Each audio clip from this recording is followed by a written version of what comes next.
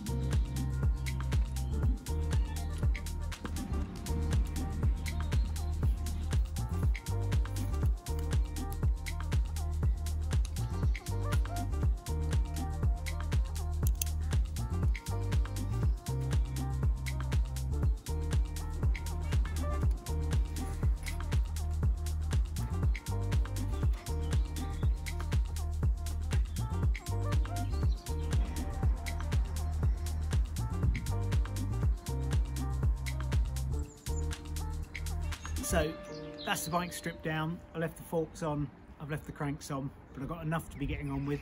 Next step, start tidying things up.